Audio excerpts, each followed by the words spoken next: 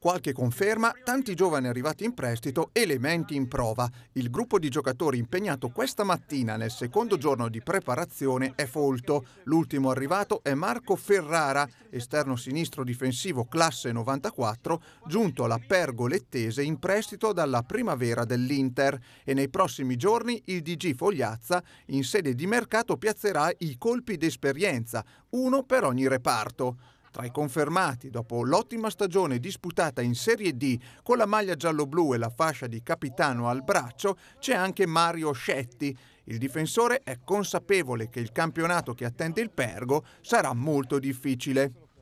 È campionato sicuramente il più difficile credo che ci sia mai stato, perché comunque con nove retrocessioni è davvero difficile, quindi bisognerà subito conoscersi bene perché la maggior parte dei ragazzi sono nuovi cercare di farli ambientare subito e cercare di, di dare il massimo per eh, salvarci e quindi per fare un campionato di C unica l'anno prossimo.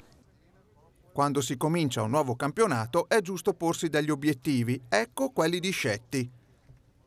Beh, prima di tutto si sa che arriva la squadra, quindi la salvezza e poi personale comunque quella di mi sono rimesso in gioco perché volevo tornare in C avevo già fatto due anni, uno a Varese, uno a Pizzighettone, quindi avevo voglia di tornare e vedere se sono ancora all'altezza della C.